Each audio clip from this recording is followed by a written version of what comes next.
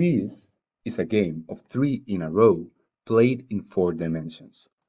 It is a game with few simple rules and a lot of dimensions to strategize in. As an example, can you see here who won? Would you like to learn how to say it? And would you like to learn how to play this game? Give me a couple of minutes and you will see what a Sudoku grid has to do with four dimensions. Perhaps we should start at the beginning. This is a game of three in a row played in two dimensions. But this is not tic-tac-toe. Here we put our three pieces by turns and then we move them by these rules. Okay, this is not that exciting. Let's go to 3D. For a game of three in a row played in 3D, we need a 3 by 3 by 3 cube instead of a 3 by 3 square. But with so many new boxes, the first player would always win. So we need a third player, just to maintain the game balance. But here is the thing. To play it on a screen or a piece of paper, we need to project the 3D cube to a 2D plane. So we are going to separate the floors and put them one next to each other. But we have to keep in mind that they are on different floors, even if we see them together. As an example, a repeating position like the X's would be a vertical line. Can you see that? So, if your cube is three squares one on top of the other, a 4D hypercube would be three cubes one next to the other. Even if we cannot imagine it, we could draw them together, and we would know that they are on different hyperdimensional floors. And of course, following our trend, we must invite another player in just for balance. So, it seems like a stretch, but hopefully now you can see how a Sudoku grid can be a representation of a 3x3 by 3x3 4D hypercube.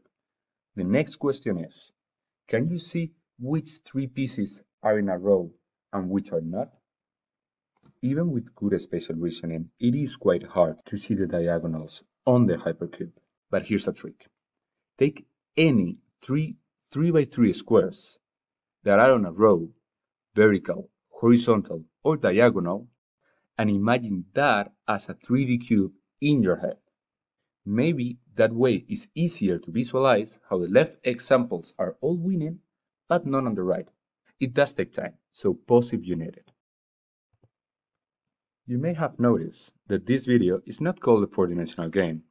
It is the n-dimensional game because you can repeat this process for any number of dimensions, and you can always play with the same rules.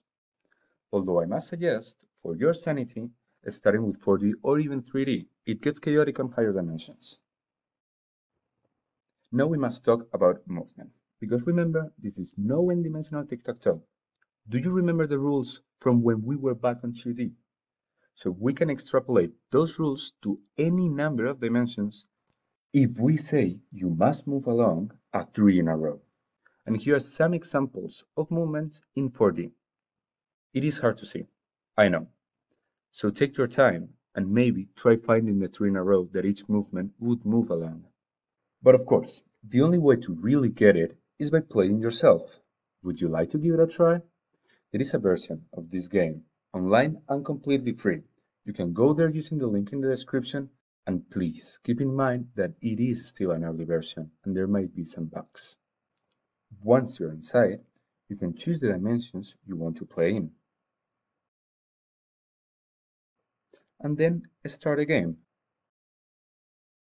Remember, 4D, 4 players, but you can play with a computer if you are not enough people. Here. To play, simply drag your pieces in your turn. First will be circles, then crosses, and triangles. The star would be the computer. This would be a hint that someone might win on the next round, but we're gonna let the star handle this one.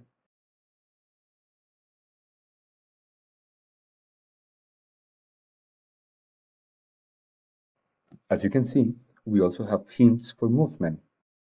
And, if you dare, you can turn them off here.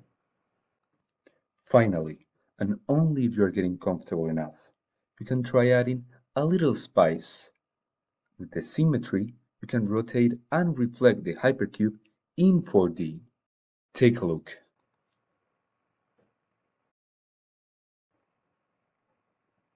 Even though it looks different, it is the same game, so we can keep playing.